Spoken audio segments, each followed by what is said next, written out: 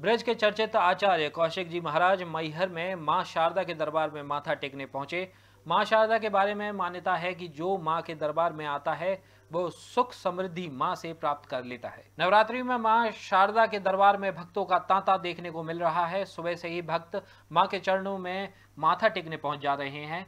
इस बीच वृंदावन मथुरा के आचार्य कौशिक जी महाराज भी अपनी कामना को लेकर माँ के पास पहुँचे। उन्होंने माँ के चरणों में माथा टेकते हुए माई से आशीर्वाद प्राप्त किया। इस बीच उनके साथ दर्जनों की संख्या में उनके शिष्य भी मौजूद रहे। दर्शन बहुत अच्छे हुए हैं और बहुत आनंद हुआ है। ब्रह्मचारिणी का मतलब है अपने आप को ब्रह्म में समाहित कर देना। अपनी ऊर्जा को ऊपर की तरफ़ लेकर के जाना यही ब्रह्मचारिणी का अर्थ है। अपनी शक्ति का पतन नहीं होना चाहिए अपनी शक्ति का उत्थान होना चाहिए। अपनी शक्ति गलत जगह पर न लगे अपनी शक्ति अच्छी जगह पर लगे ब्रह्मचारिणी का यही मतलब है। आज माँ का ब्रह्मचारिणी का दिवस है और भक्तों में विशेष उत्साह के साथ माँ की भक्ति कर, माँ के दर्शन कर मन वांछित फल पा रहे हैं। भक्तों भक्तों की संख्या तो माँ के दरबार में निरंतर बढ़ती जा रही है।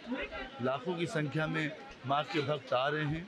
नवरात्रि के पर्व में माँ की विशेष कृपा बरसती है। तो भक्तगण अपने अपने तरीके से यथाशक्ति माँ की भक्ति करके व्रत इत्यादि दुर्गा सरस्वती का पाठ कर अखंड जोत जला के माँ की भक्ति करते हैं और मन वांछित फल पाते हैं।